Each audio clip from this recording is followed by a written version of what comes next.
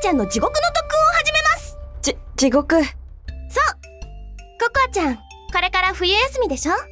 だから冬休みの間に歌の特訓をして最終日にお母さんの前で歌うの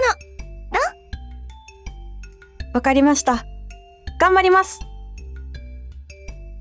それじゃあまずとあるトップアイドルのトレーニングメニューを極秘入手したから毎日このメニューでトレーニングしようそれと歌では声量音程リズム感。この3つが特に大事だと思う。ちょっとアプリで計測したいからこのスマホに向けて一番大きい声出してみて。あ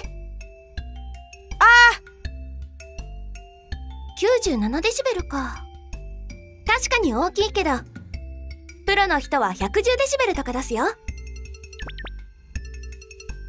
だからそれを伸ばせるように。ココアちゃんにプレゼント。風船？風船を膨らませるとね声量を伸ばすのに必要な肺活量を鍛えることができるの。この風船を私のポケットマネーで2000個買ってきたよ。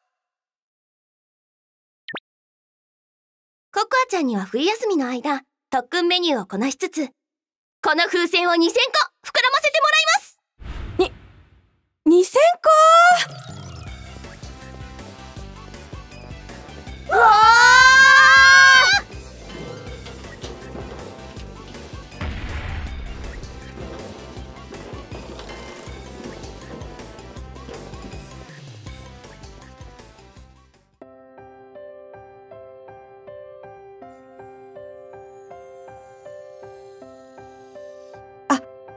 そうだ。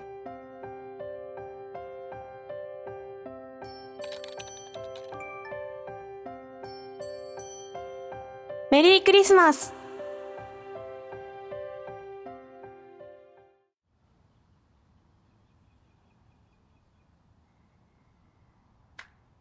プロの歌手になれますように。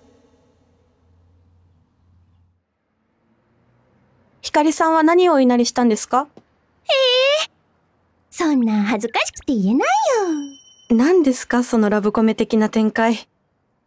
おそらくだけどココアちゃんが祈ってたことと一緒だよ。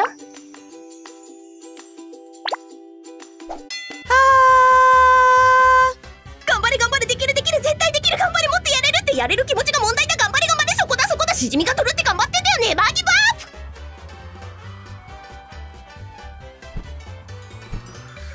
気を整え拝み祈り構えてつく。一日一万回感謝の聖剣好き。うわ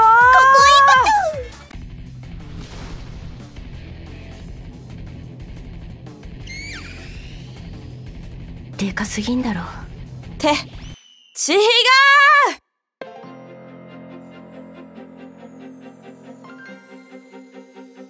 やった !2000 個終わったすごいよココアちゃん。110デシベル。特訓を始める前から10以上大きくなってる。やったひかりさんのおかげです。声量だけじゃなくて音程リズム感喉の強さ筋力。その他全てが特訓前より伸びてるよ。成長したねココアちゃん。でもまだスタートにも立ててません。そうだねまずははい。お母さんの前で歌います。次回、ついにお母さんの前で歌います。頑張れ思いを込めて曲を選びました。気になるお母さんの返答はいかに？次回ココアストーリー7話約束、すべての思いを込めた歌。チャンネル登録と高評価お願いします。